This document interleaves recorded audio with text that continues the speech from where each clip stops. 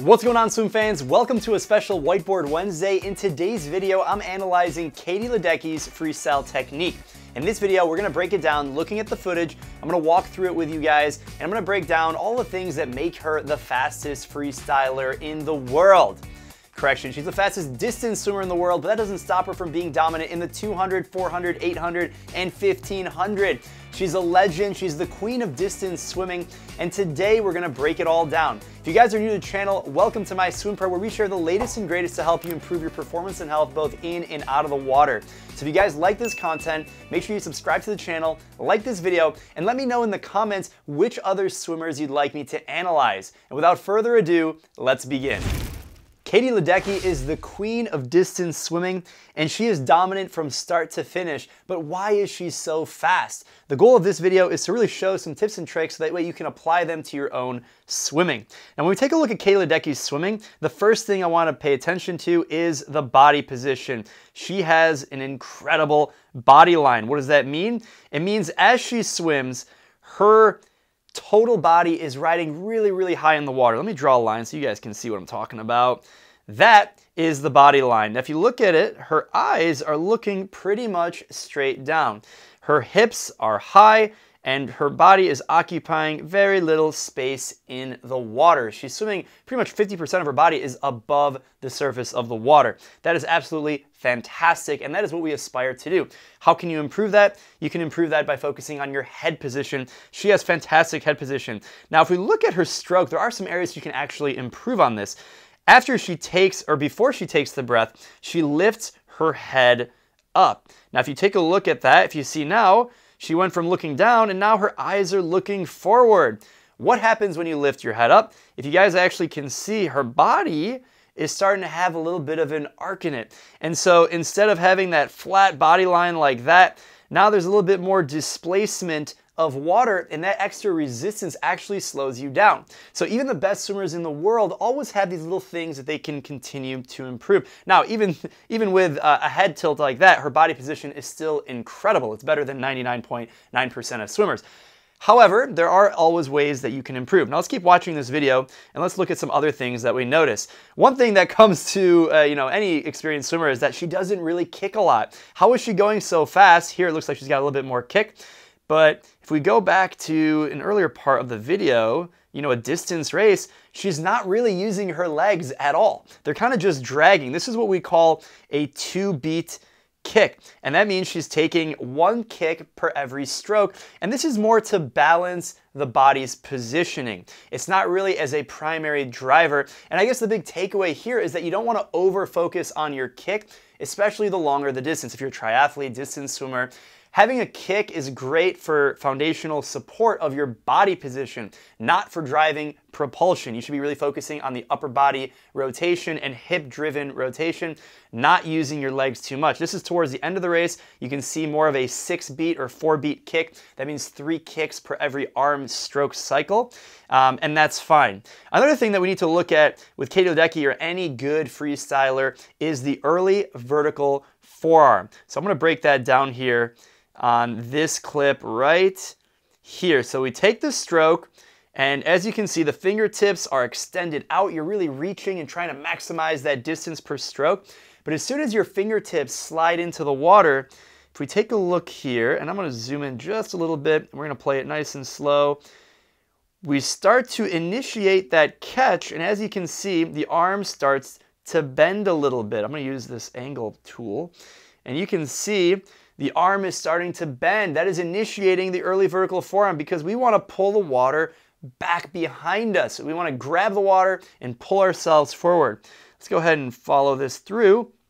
As you can see, we have almost a paddle being developed from the elbow all the way to the fingertips. And this paddle, this early vertical forearm, allows us to pull the most amount of water because we've increased the surface area. Okay, so your body's flat, but we want to increase that surface area as much as possible so we can pull as much water as we can and really grab, like anchor your hand in the water and pull yourself forward. And Katie Ledecky does this better than any freestyle swimmer that we've seen in distance. Uh, look at this, it's on both arms clearly, but you can see it even from the top, the hand entry. Let's zoom in on this hand entry. So the hand is entering at about 11 and 1 o'clock if we're using the hands of the clock. And when we hit the water, we're hitting with our fingertips. This is a little bit faster, we're slowing it down. And you can even see from this angle, yeah, you can see the high elbow catch underneath the water. You can see right there, yeah, slow motion, there we go. Uh-huh, perfect. Yeah, let's zoom in just a little bit. Yep, you can see the bend in the elbow even underneath the water. And that's because you're leveraging as an anchor point and you're pulling yourself forward. Let's go ahead and clear that and zoom back out. Keep watching the footage.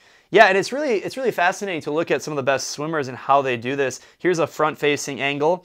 You can clearly see that the hand is entering with the fingertips at about a 45 degree angle parallel to the surface of the water.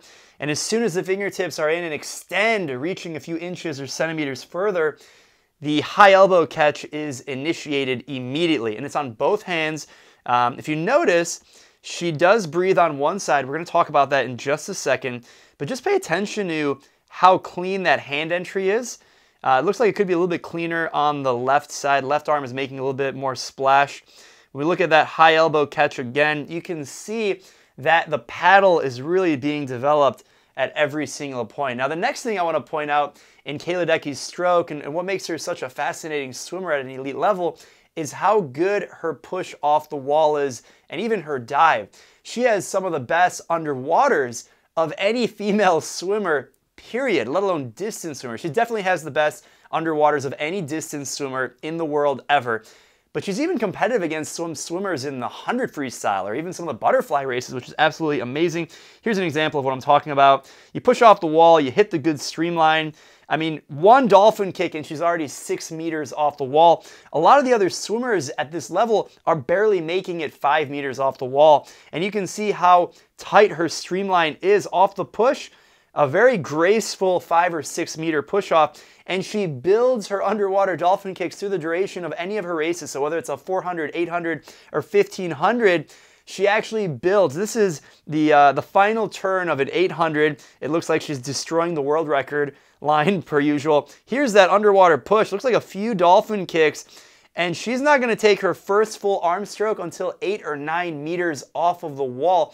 It just goes to show, even in long course swimming, the best distance swimmer in the world, she's still able to leverage that underwater streamline. Here's a 200 freestyle from a Grand Prix meet. This is absolutely insane. Look at this.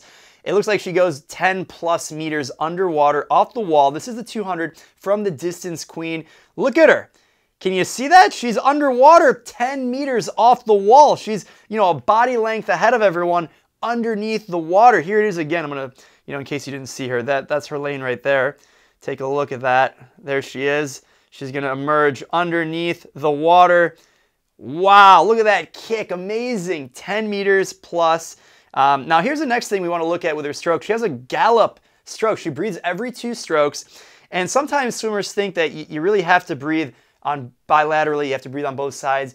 And while it is good to have stroke balance, there are actually a number of benefits to breathing only on one side. Now, you don't want to be completely imbalanced, but having a little bit of a timing, you know, a difference, or you have a little bit more bias on one side, allows you to have more rhythm. And when you're doing distance swimming, basically the 200 and up, you need to have that rhythm. If you notice, she breathes every two strokes. She breathes to her right side and it's and it's nat- it looks natural. It looks like a gallop. Now you don't want to go up and down. That's a mistake a lot of swimmers make. They go up and down, and that's not what we want because when you go down, then you're creating resistance. When you go up, you're also gonna go down.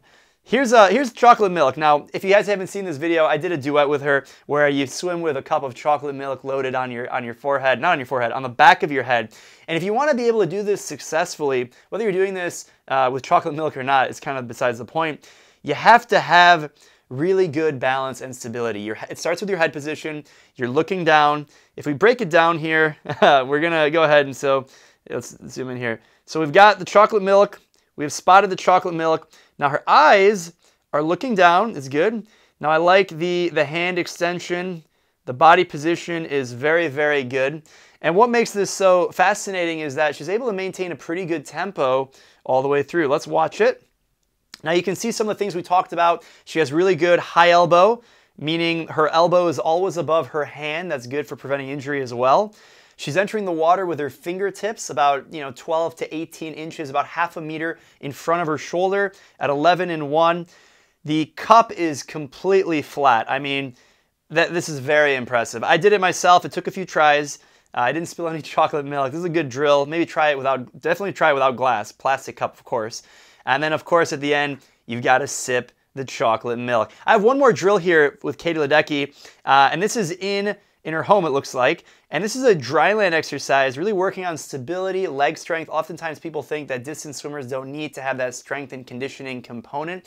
I disagree with that. You know, every athlete, you know, as a swimmer, you're an athlete, and you have to be training your body. It looks like this is a good balance drill, engaging your quads, your hamstrings, um, you know, glutes, everything is involved to really stabilize sort of doing semi one-legged uh, squats right here using the arms for balance and just goes to show that strength and conditioning dryland training you know training in the water out of the water the mental mindset working on technique the best athletes in the world are doing this every single day and even if you're not trying to go to the olympics or something like that doesn't mean that you can't try and achieve your dreams as well whether that's qualifying for a state championship or a national championship dropping time in your competition doing your first triathlon doing an ironman it doesn't really matter, but whatever your goals are, you've come to the right place. So if you guys enjoyed this content, make sure you give it a big like. Let me know in the comments what other swimmers you'd like to see me analyze. And if you haven't already joined our Facebook group, we have one of the largest Facebook groups in the world for swimmers who are all passionate about getting better.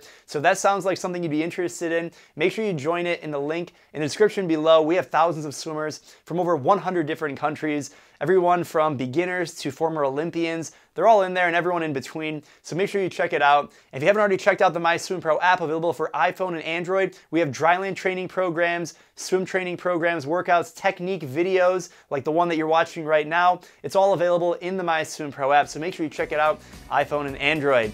Until next time, happy swimming.